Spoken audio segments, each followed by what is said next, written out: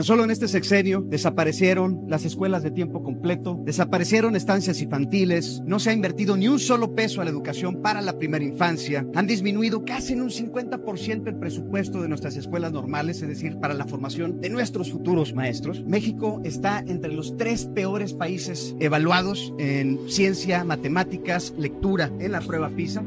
queda muy claro que han abandonado en este gobierno federal lo más valioso que tiene este país, que son sus niñas y sus niños. Se ha dejado de invertir en su educación, se ha dejado de invertir en su futuro, se han dejado de brindar valiosos recursos para la manutención de escuelas y de espacios educativos dignos en todas partes. Hoy le han invertido más a dos bocas, una refinería que no refina, al tren Maya, un tren que ha descarrilado, o bien a un aeropuerto que es muy, muy difícil llegar. Se lo han invertido más que la educación de nuestras niñas y nuestros niños. Es más, tan solo en los sobrecostos de estos proyectos es más que el presupuesto total de nuestra Secretaría de Educación Pública Nacional. Por eso nosotros estamos peleando para garantizar que estos recursos sean restituidos a nivel nacional, pero sobre todo también que se trabaje para mejorar la infraestructura de todas nuestras escuelas a través de un programa de auditoría y manutención de la infraestructura escolar. Elevar la calidad y la formación docente en México a través del fortalecimiento para incluir metodologías de enseñanza, pero también evaluarnos como en la prueba PISA para saber la competitividad mexicana a nivel nacional e internacional.